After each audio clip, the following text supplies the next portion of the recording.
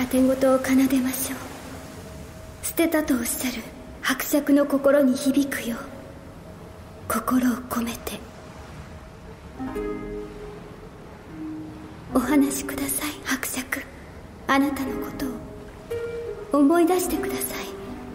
心をお持ちだった頃のことを。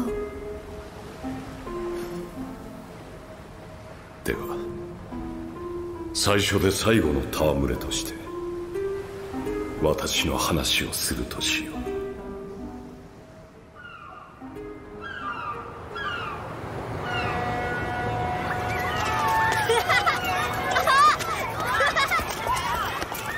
私のかつての名はエドモン・ダンテス宇宙への扉として栄える港町。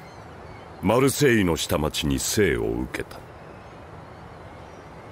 幼い頃は決して裕福ではなかったがその頃まだ私に存在した心は豊かに満たされていた。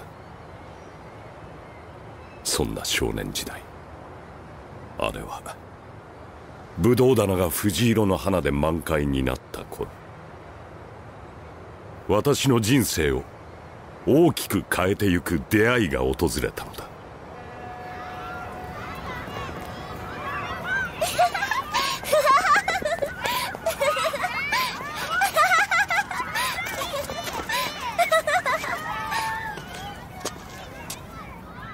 あなた誰いつからそこに？